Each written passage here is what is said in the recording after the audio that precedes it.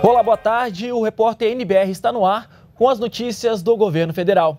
O presidente do Banco Central, Ilan Goldfein, toma posse hoje no Palácio do Planalto. E a repórter Thaisa Dias já está lá e tem as informações para a gente. Boa tarde, Thaisa. Boa tarde, Leandro. O presidente em exercício Michel Temer vai dar posse ao novo presidente do Banco Central aqui no Palácio do Planalto daqui a pouco. A cerimônia está marcada para agora mesmo, às 5 horas da tarde, e deve ser reservada provavelmente no gabinete de Temer. A nomeação de Ilan Goldfein foi publicada no Diário Oficial da União de hoje. Em sabatina no Senado, na terça-feira, o novo presidente do Banco Central disse que tem como principal objetivo atingir a meta de inflação. Ele também afirmou que é possível reverter a situação situação econômica do país.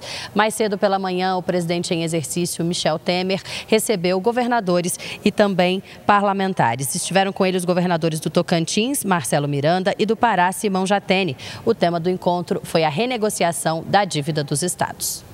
O que nós tivemos conversando um pouco foi da necessidade de se criar um cardápio, de se criar um leque de alternativas que, evidentemente, não despreze esse, essa condição e essa essencialidade da renegociação das dívidas, mas que também busque ver outros pontos que são importantes para a questão do reequilíbrio das contas dos estados. Entre esses, por exemplo, a questão previdenciária, que ela tem uma fisionomia diferente em cada estado, mas que é absolutamente fundamental para o equilíbrio das contas estaduais. E que se tivesse então ações conjuntas articuladas entre os governos locais, os governos subnacionais e a, a, o governo federal, no sentido de buscar encontrar a melhor resposta para cada um dos casos, o que certamente será extremamente importante. E pelas redes sociais, Michel Temer falou sobre o acidente com um ônibus que transportava estudantes na rodovia Mogi Bertioga, no litoral de São Paulo. Pelo Twitter, Temer disse estar chocado com o acidente. O veículo capotou, causando a morte de 18 pessoas. Temer disse ainda que vai chamar os órgãos de fiscalização para evitar que outras tragédias como esta se repitam. É com você, Leandro. Obrigado, Thaisa, pelas informações aí do Palácio do Planalto.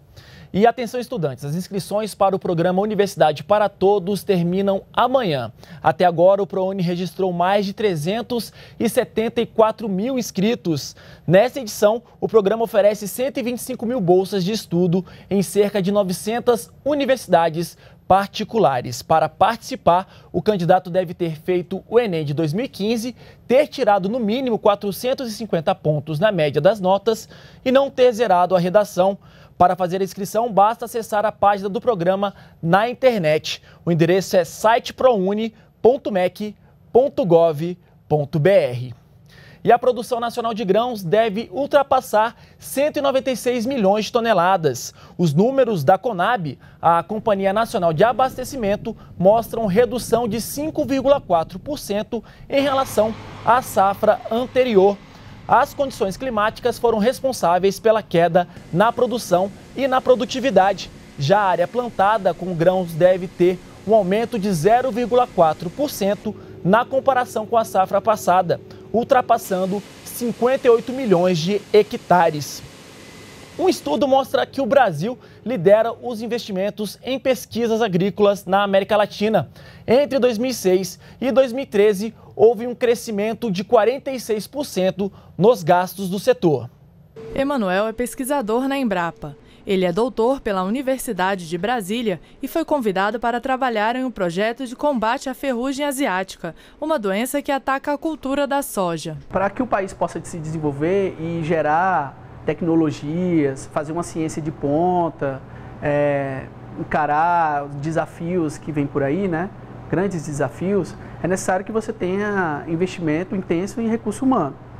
Então, é, formação de doutores é algo primordial para que você possa é, dar condição de competitividade ao Brasil frente aos desafios e a outros países do mundo. Né? O Brasil empregou o maior número de pesquisadores doutores nas instituições de pesquisa e ensino agrícola comparado a outros países da América Latina. Em 2013, mais de 70% da capacidade de recursos humanos disponível para pesquisa agrícola era formada por doutores. Os dados são de um estudo realizado pela Embrapa em parceria com o Instituto Internacional de Pesquisa em Políticas Alimentares, vinculado ao Conselho de Pesquisa Agrícola Internacional. O Brasil é o principal né, país, considerar em termos de, do volume de investimentos, mais de 50% dos, dos investimentos em pesquisa agropecuária na América Latina são investidos aqui no Brasil. A qualificação, e isso houve uma evolução nos últimos é, é, sete anos, então, é uma série de, de resultados é, importantes que mostram a liderança do Brasil. Um outro dado do estudo mostra ainda que aumentou aqui no Brasil o número de pesquisas no melhoramento genético de culturas como milho, soja e feijão o número de registros de cultivares no Brasil aumentou em 82%. Cultivares são plantas melhoradas geneticamente, como essas linhagens de soja, que estão em fase de desenvolvimento na Embrapa Recursos Genéticos e Biotecnologia em Brasília. Esse aumento de registros ao longo do tempo, da ordem de 82%, ele realmente é uma medida da, do quanto a pesquisa vem avançando e melhorando as, as suas sementes e, e as, as mudas que são utilizadas né, na, na agricultura brasileira. Os balões comuns em festas juninas podem representar uma ameaça ao tráfego aéreo e também podem provocar incêndios. Para sugerir ações que reduzam esses riscos, foi criado um grupo de trabalho com representantes do setor aéreo.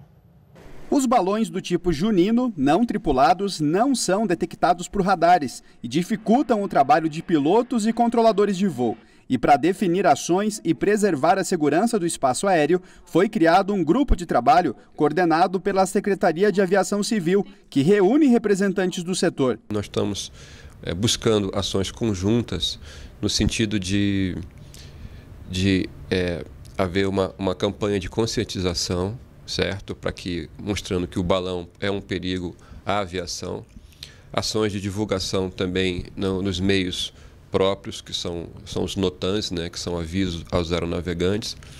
Vamos trabalhar também com ações de, de orientação às forças de segurança estaduais, que são as forças que vão fazer a fiscalização, são as polícias estaduais que vão fazer a, a fiscalização e o monitoramento dos balões. Só neste ano, o Centro de Investigação e Prevenção de Acidentes da Aeronáutica CENIPA já detectou 143 balões no espaço aéreo, a maioria em São Paulo, seguido do Rio de Janeiro e Paraná.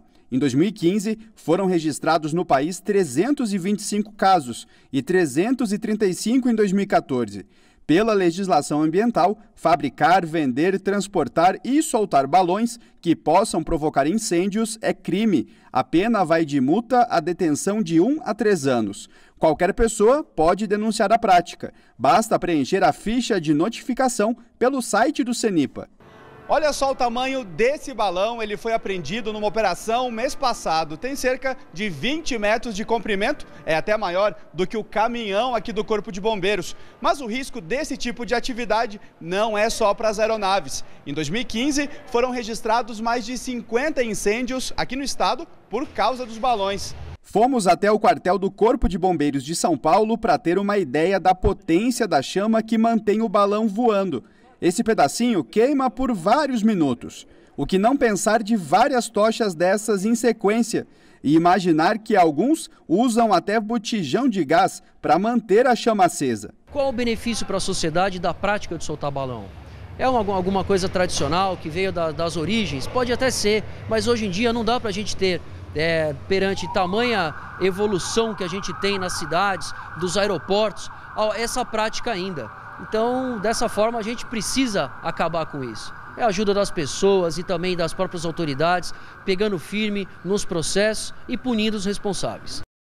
Bom, e nós ficamos por aqui. Voltamos a qualquer momento com outras informações ou às seis da tarde na próxima edição do Repórter NBR. Acompanhe também as novidades em nossas redes sociais. Continue com a gente aqui na NBR, a TV do Governo Federal.